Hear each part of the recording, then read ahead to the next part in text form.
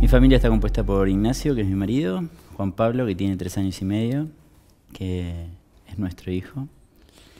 Y bueno, nada, estamos acá luchando para que la Corte Suprema eh, nos dé la posibilidad de que Juan Pablo tenga la identidad que le corresponde.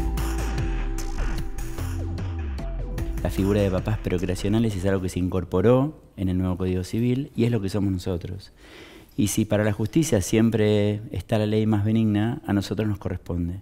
Juan Pablo está quedando en un bache legal de tiempo en el cual no le están dando su identidad y están teniendo una actitud muy homofóbica hacia nosotros. En el fallo de Cámara expresa claramente que dos mujeres pueden tener un hijo, que una pareja hetero puede tener un hijo, siempre hablando de subrogación de vientre, pero que dos varones no lo pueden hacer. La última alternativa que nos queda es queja, es el recurso de queja, que lo presentamos el viernes pasado.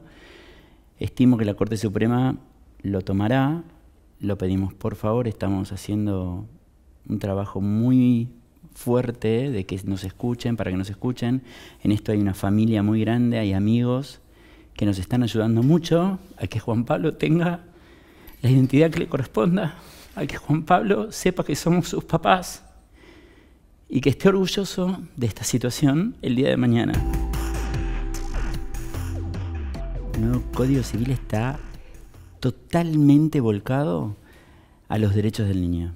Por eso no entendemos cómo tres jueces en el momento de fallar por la vida de un menor, por la vida de un niño, no lo tenga en cuenta, sabiendo la realidad que hoy se está viviendo en el mundo de lo que es parejas igualitarias y sabiendo algo muy importante, estamos en un país que tiene una ley que lo que dice es que todos tenemos el derecho a formar una familia.